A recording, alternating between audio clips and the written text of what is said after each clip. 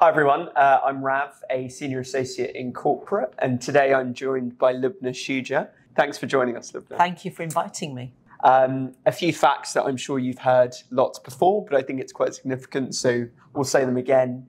Uh, you're the first Asian, the first Muslim, and the seventh female president of the Law Society. Um, the Law Society has been around for a long time, so that's It has almost 200 years. Yes. Almost, yeah. Um, so I'd like to go back to, to the start. Um, I'd like to talk about you as a teenager growing up and whether law was something that you always thought you wanted to do. Yeah, I mean, it wasn't something that I always um, thought I would want. Well, it was something I hadn't even given any consideration to, to be honest with you. Uh, I mean, you all know, coming from an Asian background and an Asian family, obviously, you know, Asian parents have the three kind of key things they want, want their children to do. It's going to be doctor, accountant, or lawyer. Yeah. That's kind of the basic, you know. Um, but when I was a lot younger, I didn't really think law was going to be for somebody like me. Okay. Um, I was from a working class background. I went to state comprehensive school. I'm from Bradford originally. And I didn't know any lawyers. I didn't know very much about law. Uh, I really thought it was more of a white middle class profession, not something that somebody like me, a, a- an Asian Muslim female, would be able to get into. Um, so I didn't really give it a lot of thought, and it wasn't something that my teachers talked to me about at school either. So um, what it actually ended up happening when I was at school, I was kind of, what am I going to do? What am I going to do? As many of us do when we're younger, if we don't have a, a very clear plan. Uh, and I, I had a couple of cousins who were journalists. They worked at the BBC, Right. and they used to talk to me about their jobs and you know tell me about the documentaries that they were working on. Uh, and that was where i having listened to them thought i could do that. That's something i could go into. And you know at the time i didn't realize it because we never talked about role models. We never talked about you know you can you know if you can see it you can be it. Yeah. but when i look back that's obviously what was happening you know Yeah. i saw my cousins working as journalists and I thought I could if they can do that I can do that so I started off I got myself um, a place to do English at university because I thought you know if you want to go into journalism you need to have an English degree um, but when I got my A level grades I did a lot better in my A levels than my teachers had predicted Right. Obviously didn't have a lot of confidence in me. But anyway, I did a lot better than they predicted. And uh, it was at that stage, a really good friend said to me, "You could get onto a law degree with those grades. Why don't you look at going on to, you know, look at look at doing law? You could, you know, if you want to go into journalism, you still can. There'll be lots of options open to you, though. It will open up other options. So." Again, put a seed in my head, and I thought, oh, maybe I can get on. I mean, I think the, the the the the truth of the matter is, I didn't think I was good enough to do law. I think that's what it came down. I didn't think I was bright enough. I didn't think I was good enough to get onto a law degree. So when somebody said to me, "You could do law," I thought, "Okay, let's look into this," and I did, and I got onto a law degree through clearing Okay. that's that's how I started. I actually uh, went to um, back then it was called the Polytechnic of Central London. Now it's Westminster University, Yeah. um, and that's where my journey into law started. I got onto a law degree. That was my first exposure to law. You know, growing up, I- didn't watch. I didn't even watch legal dramas on television. We had three channels when I was growing up on TV. You know, we had ITV, BBC One, BBC Two. That was it. Uh, it wasn't 24 hour TV. You know, you couldn't just flick around channels and find something that, you know, you were interested in. You just watched whatever was on. So I didn't really have a lot of exposure to, to law. And when I started studying for my law degree and started learning about cases, learning about legislation, learning about how they applied to everyday life and how precedents were created and how new law was made, um, I was absolutely hooked. I was fascinated and I thought, that's it. I want to be a lawyer. This is what I want to do. Yeah. And that is literally where my journey started. Okay. Uh, It's, I find it really interesting that you maybe wanted to do English and then you switched to law.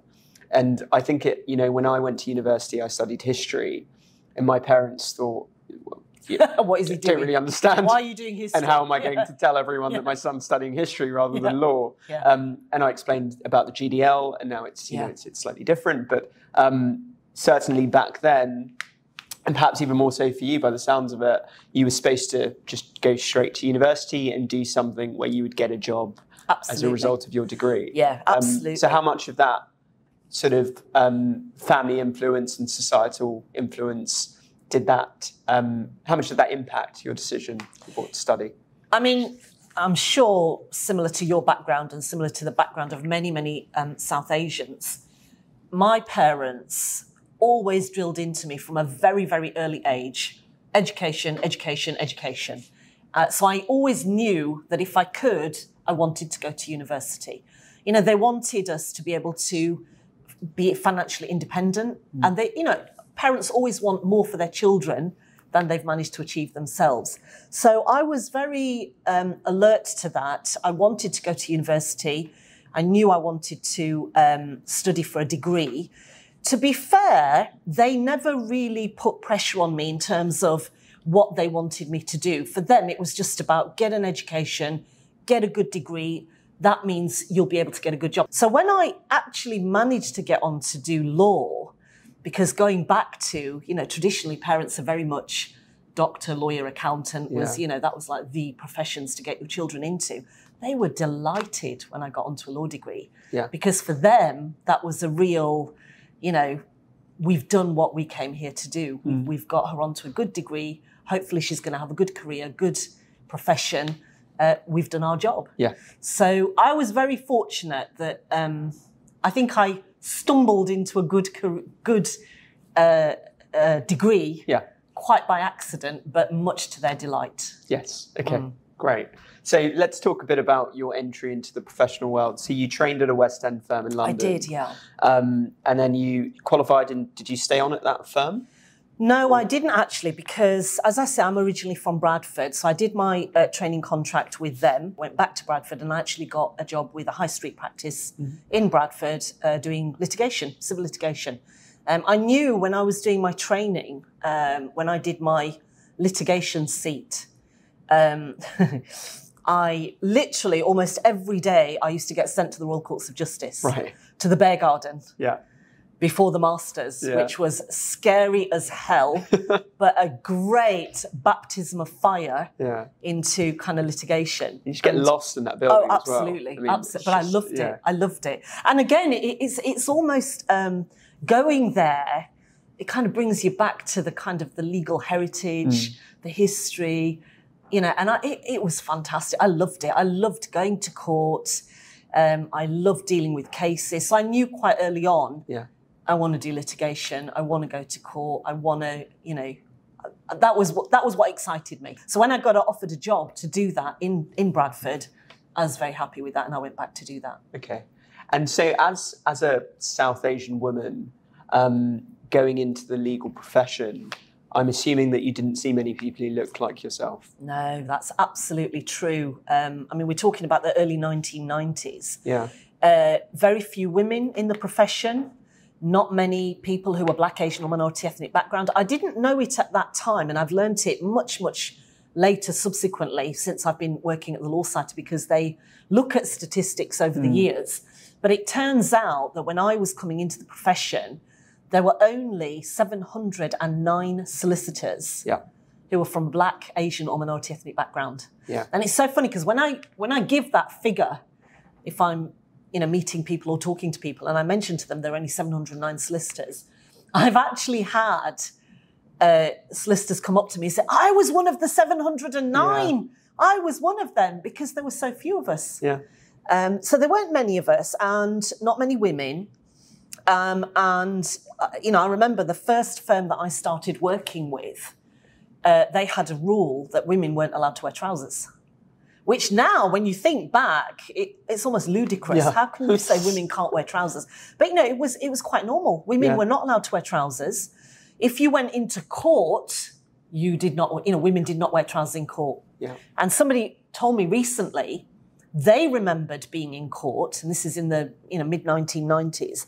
A woman came into court wearing trousers, was about to make submissions to the judge, And the judge actually said to her, You can't address me. I can't hear from you. You're not appropriately dressed. And refused to let her make submissions. That's how crazy it was back then. So, um, yeah, it wasn't, it wasn't, you know, times have changed. I'm really pleased to say times have changed. I pushed back with my firm. Yeah. And I said to them, look, you need to change this rule. It discriminates against me as a woman, discriminates against me as a, as a Muslim female. I'm in Bradford. I'm in a very traditional community. What I wear matters because, you know, my clients will judge me on how I look. Uh, and it took time, it took a number of years, but eventually they did change that rule. Yeah. Um, and I'm pleased to see, you know, it, it has evolved and across the legal profession, that's not an issue anymore. Yeah. And so now there's, I mean, I was looking at this earlier, but there's, I think, over 20,000 lawyers from an ethnic minority background. Yeah, the statistics now. So, so the Law Society, we represent just over 220,000 solicitors Okay. across England and Wales. 17% of them Yeah. are from a black, Asian, or minority ethnic background. When you break that down, because the other thing that we tend to do is we just lump everybody together mm. when we're talking about statistics. If you bring it down to how many of those are from a South Asian heritage background, we're about 10%. Okay. And then again, you know, you can't just lump all South Asian uh, Yeah. uh, solicitors into into one kind of figure. When you look at that ten percent, those who are from uh, Indian heritage are very highly represented in that figure, whereas those who are from a Bangladeshi heritage are very underrepresented in that figure. Yeah. So you know, when we look at figures, we still need to break it down further and Yeah. just look carefully at well what is actually going on within that figure but generally we're doing quite well as black asian and minority ethnic solicitors at 17% because that's higher than the overall population which i think is around 12% at the moment Okay. And I suppose you or the workforce have to, rather Yeah. The- the- yeah yeah yeah I suppose you also have to look at what positions those people are in and Yeah. if they're in senior positions and how many of those are women. Yeah. And so I suppose there's a lot of data for you guys to work through. absolutely Um, absolutely and yeah. I, I mean, there's a, there's a lot to cover, um, but sort of skipping forward to your work with the Law Society, if you could tell us a bit about how you got involved with the Law Society yeah um, and up to where you are now at the very top. Yeah, sure. Um, so, as I said, I've been a solicitor for about 30 years now. Yeah. Um, I worked with the uh, high street firm in Bradford for about 13 years altogether. Uh, then I moved to Birmingham and uh, I set up my own practice.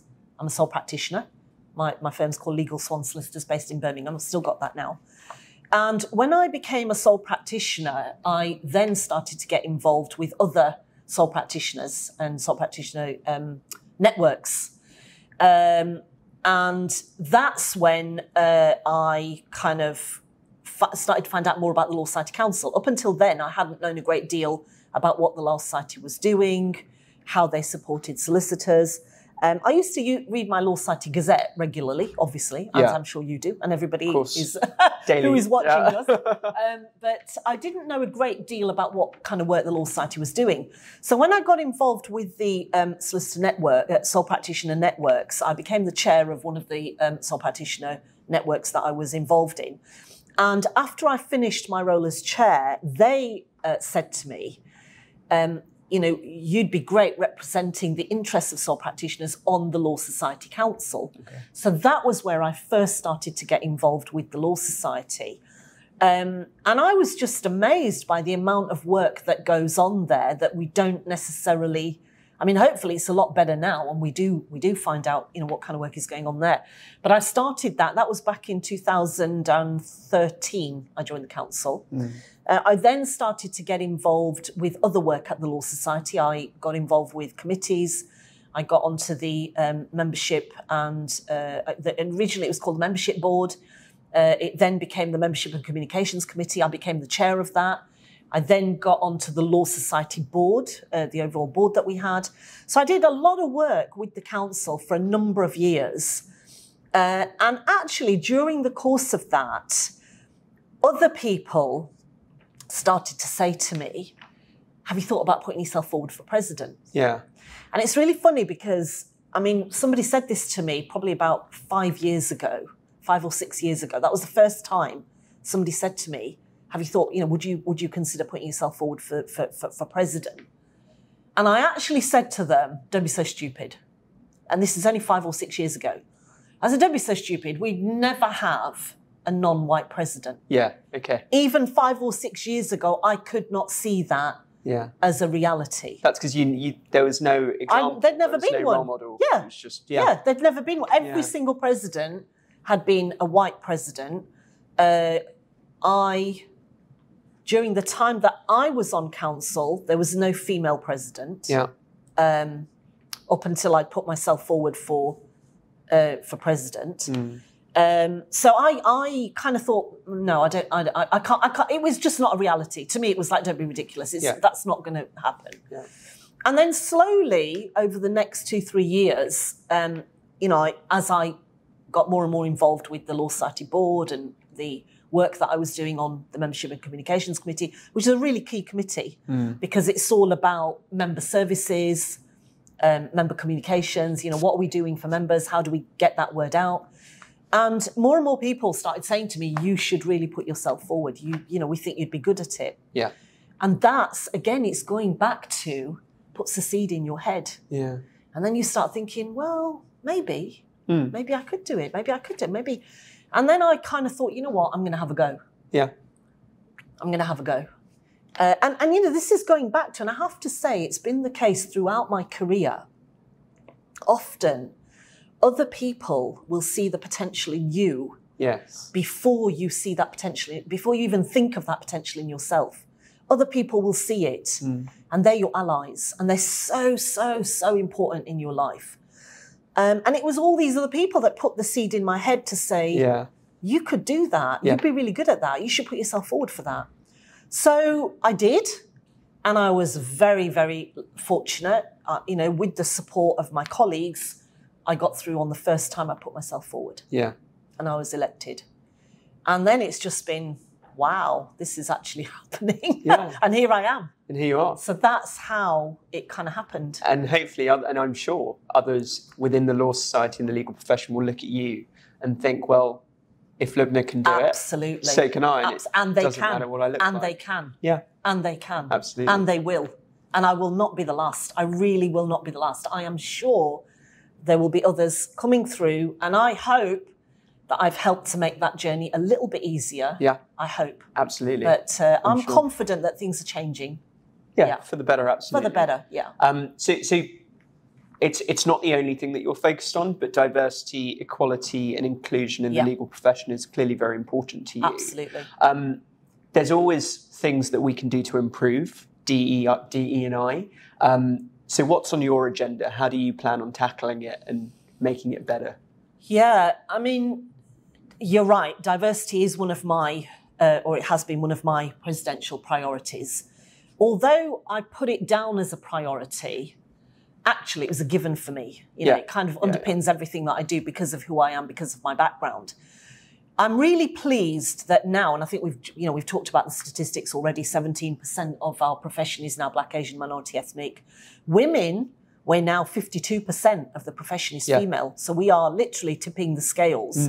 More women than men in the profession. So I think that's a really great statistic, and it's great to see that coming into the profession. But where we are not seeing um, that translate is progression. So where we're looking at senior levels of the profession, we're not seeing as many females, we're not seeing as many black, Asian, minority ethnic solicitors getting to senior levels of the uh, profession. We're not seeing them get to the senior levels of the judiciary. Those are areas that I really want to work on. Um, I've had to focus on them. Really important that, you know, if we want to reflect society, we need to reflect it across all aspects of our profession, not just at entry level. And what we're finding is um, those people who are coming in at entry level, who are from a black, Asian, minority ethnic background, they, a lot of them are finding they're stunted Right. because they're not progressing. And that makes them leave the profession or leave the firms that they're businesses that they're working in. Yeah. You know, when you look at sole practitioners, a third of sole practitioners are from a black, Asian, and minority ethnic background. And, you know, we know from talking to them that they do that because they don't see themselves progressing within the firms, the larger firms that they're working in. Right. So, you know, it is about how do we tackle that? What can we do to tackle that? How do we change that? Because, you know, it's not just it's not just a good business decision. A business wise, diversity is really, really important because you're bringing in diverse perspectives, you're bringing in different ideas. Innovation comes from different experiences. Yeah. And um, that's important for business. You know, it's a good business reason. But also clients, Yeah. They want to see themselves reflected Yes. in the organizations that they are instructing. You know, often somebody will interpret the law according to their own religion, hmm. their own customs, their own cultural backgrounds.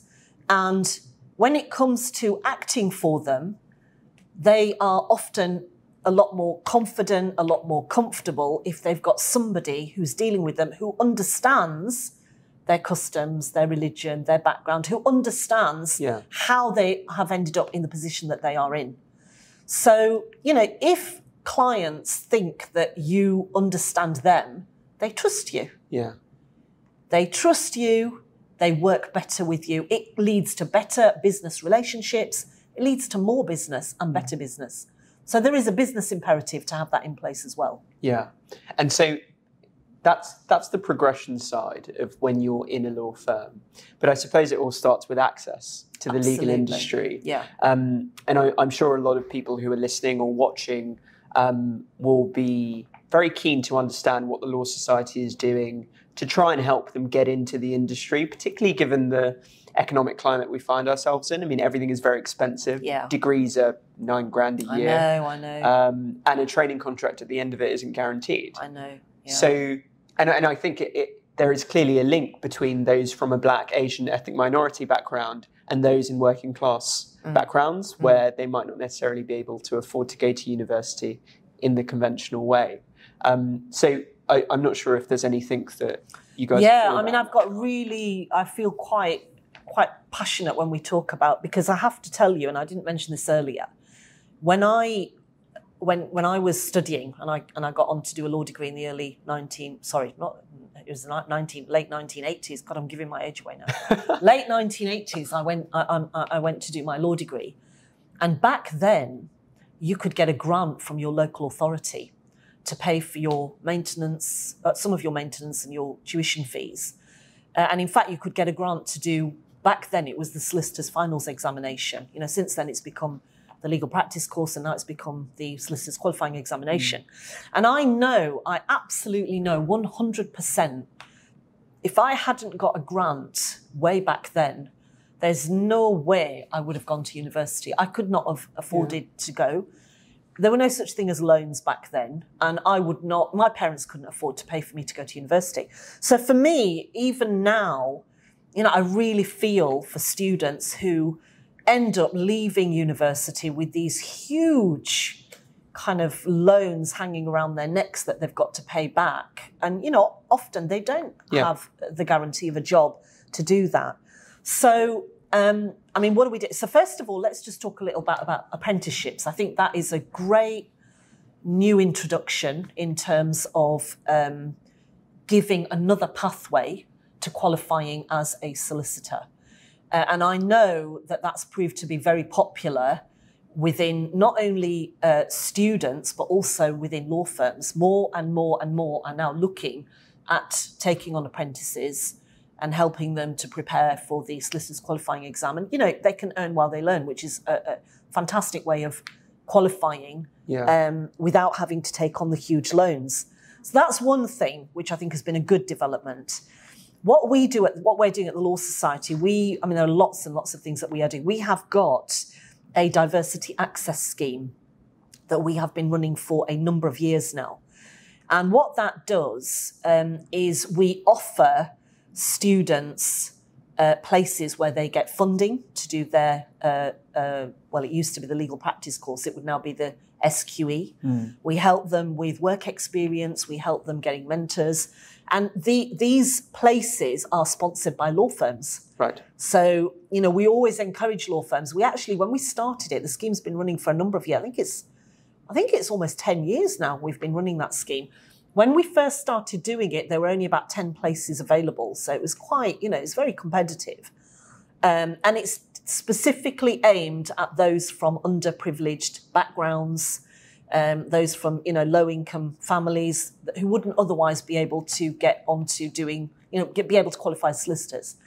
Now, uh, I, I'm trying to remember the statistics now and make sure I don't give you the wrong statistic, but I think we're now at around 30 or possibly even 50. I think it's probably 30 places that we offer, and every year that's going up because we're getting more and more people that are um, more and more firms and businesses Yeah. that, that really want to, you know, sponsor a place and, and give opportunities to students.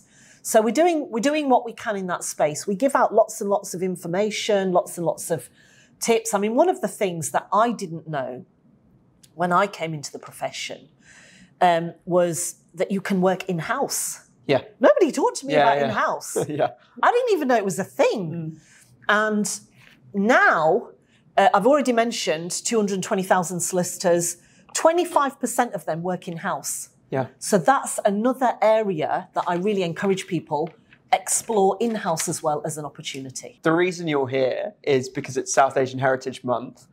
Before we started filming, I openly said to you, I didn't know it existed Yeah. up until about three weeks ago. Yeah. Uh, so it'd be great if you could just tell us why you think it's important that people celebrate it and what it is. Yeah. So, South Asian Heritage Month, I have to admit, I stumbled across it as well, uh, probably about three or so years ago. And I think it's a fantastic opportunity to really celebrate the um, contributions that are made by South Asians to uh, society, to law. You know, there are so many, we've talked about the number of South Asian solicitors that we've got in law. But I think it's also a really important time to educate people. Yeah. Um, South Asian Heritage Month, it runs from, um, I've got to get the dates right now, I think it's the 16th of July through to the 17th of August, and it will be that month every single year. Yeah. Uh, and the reason for that is it's all based around the creation of uh, India and Pakistan and Bangladesh and a number of other South Asian countries that, that were formed during that period. But it's also a time to remember the sacrifices that some of our parents and grandparents made to give us the opportunities that we have now. And, you know, growing up, and certainly in my early days as a solicitor, I was quite embarrassed about my kind of Yeah. heritage and my Asian life and my background. Uh, so I didn't really talk about it when I was at school or at work, or Yeah. you know, it was just kind of you just wanted to blend in. Yeah. You wanted to be, you know, I mean, the first, you know, wherever I worked, I generally was the only Asian person within that firm. Yes. Yeah. Generally, they were all kind of predominantly white people. So I didn't really want to talk to them about fasting Mm. And about Eid. You know, why don't you know what day Eid is? Why don't Yeah. you know? You know, I, I wasn't confident enough to have those conversations. Um, so initially, I really kind of just hid who who who I was and what my background was and what my heritage was. But you know, over time, I realised it's really really important to educate people and Yeah. to talk about that because that is who that's what makes you who you are. Yeah. And those differences are your strengths. Yes. Those differences are what makes you who you are and what makes you unique and what makes you bring something different to the business. Yeah. So I realized over time don't hide it, No. enjoy it, celebrate it, and, um, you know, tell people about it. Because actually, most people are genuinely interested. Yeah. Genuinely interested. Yeah. And, you know, who doesn't love a Bollywood film? Who doesn't love Asian Indian food? Yeah. Who doesn't love Bhangra dancing? You know, we got so much absolutely. culture, heritage, so much to celebrate. And, you know, we want people to enjoy that. We want people to be a part of that and embrace it. I think I've shown the whole firm my wedding video. So, and I showed you before we started this and it was and it was So- fantastic. As I Yeah. said to you, it's like a little mini Bollywood film. You should be very Yeah, proud of it. Very, very go. proud of it. Very proud of it. Okay, some quick fire questions Oh, dear, to, okay. to finish off. Yeah. Your favourite South Asian food? Oh, food. Ah, I've got to think about that one. I love aloo parathe. Okay. I love tarka dal. Yeah.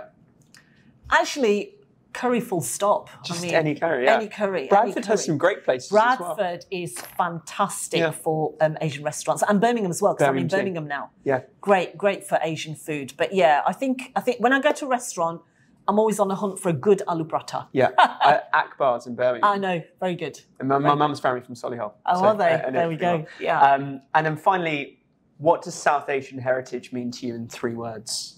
oh, in three words: remember, educate, celebrate. Amazing. Yeah. Um, when I qualified, I qualified in 2017. Um, I never thought I would see a person who looks like me with the same colour being the president of the Law Society. We just didn't have that. And I never thought that we would get there, actually. And it feels like we've made so much progress in those six years. Um, so I think, just on behalf of everyone, I want to thank you for the Oh. work that you've done. Uh, you've inspired me, and I think you'll inspire loads of people who are listening to Oh, this. thank so, you so much. thank you so much for your time. Thank and you. Continue doing the great work. Thank you doing. so much. Thank you.